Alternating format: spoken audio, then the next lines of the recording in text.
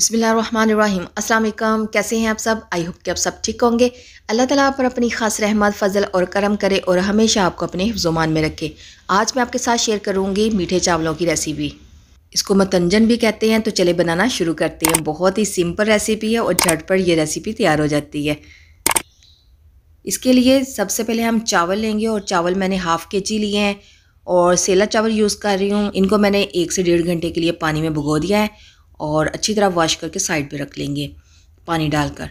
अब हमने यहाँ पे दो लीटर के करीब पानी लिया है, डेढ़ से दो लीटर आपने पानी लेना है, उसको अच्छी तरह गर्म करना है। जब इसमें बबल्स स्टार्ट हो जाएँगे, पकना पानी स्टार्ट हो जाएगा, तब हम इसमें चावल ऐड करेंगे। चावल डालने से पहले हम इसमें दो से तीन लौंग डालेंगे और दो दस सब्ज़ इलायची डाल देंगे और फिर हम चावल ऐड करेंगे और इनको अच्छी तरह हमने बॉयल करना है। अच्छा ये सेला चावल हैं, इसलिए वो ये फुल कुक होंगे। फुल इनको पकाएँगे। और अगर हम इसकी जगह कोई दूसरे चावल यूज़ कर रहे हैं तो हम उसे हाफ़ कुक करेंगे और उनको ज़्यादा नहीं पकाएँगे।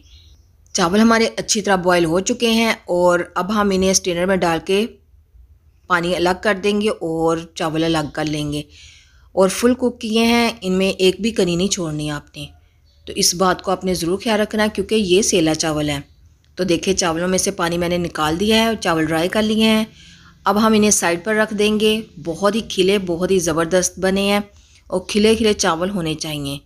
अब हम फ़ूड कलर लेंगे तीन तरह का रेड येलो और ग्रीन अच्छा आप चाहें तो इससे ज़्यादा भी यूज़ कर सकते लेकिन चावलों में दो से तीन कलर डालें, यही ज़बरदस्त लगते हैं। जितने कम कलर होंगे, उतने ही चावल हमारे खूबसूरत नज़र आएँगे। मैंने वन फोर्थ टी स्पून के हिसाब से ले लिया है। अब हम इसमें दो खाने के चम्मच पानी के ऐड करेंगे। उससे ज़्यादा नहीं करेंगे। अगर चावलों की मकदार ज़्यादा है तो आप कलर भी ज़्यादा डालें और फिर पानी भी ज़्यादा ऐड करें। मैं हाफ़ के जी के हिसाब से बना रही हूँ तो ये बिल्कुल ज़बरदस्त था कलर। और तीनों कलरों को हम अच्छी तरह मिक्स कर लेंगे अलग अलग चम्मच के साथ।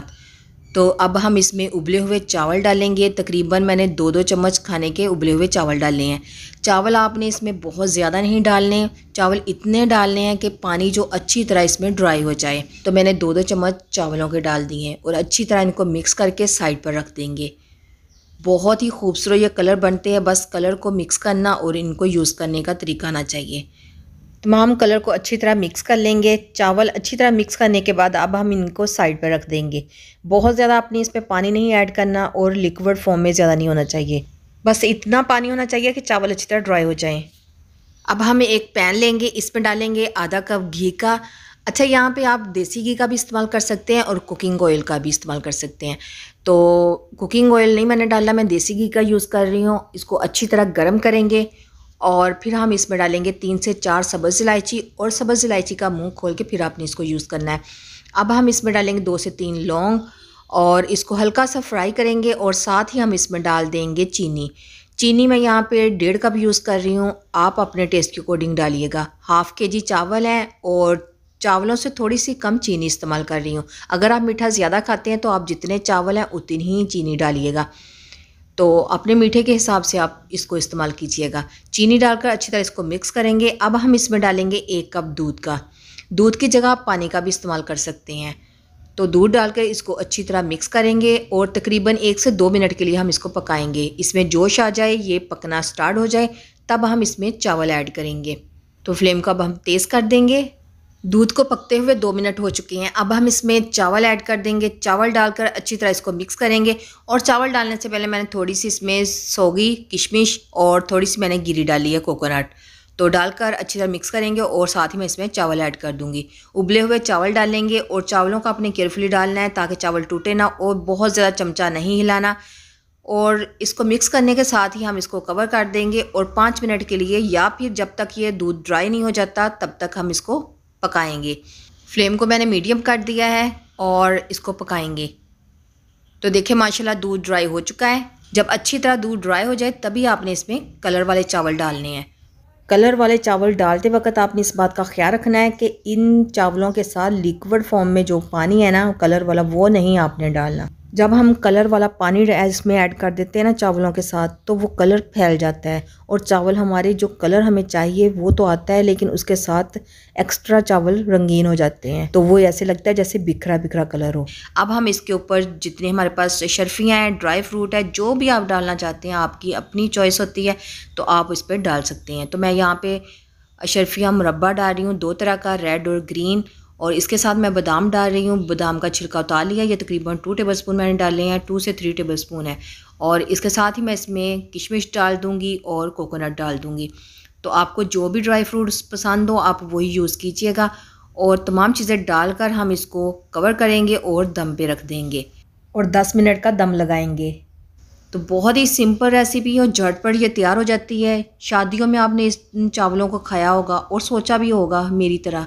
जब मैं बचपन में सोचा करती थी कि ये चावल एक एक दाना पकड़ के कैसे कलर करते होंगे। तो जी जनाब, ये बहुत ही सिंपल है, आपने देख लिया और इतने मज़े के बनते हैं ये चावल। और बिल्कुल देख के चावलों की तरह का टेस्ट आता है।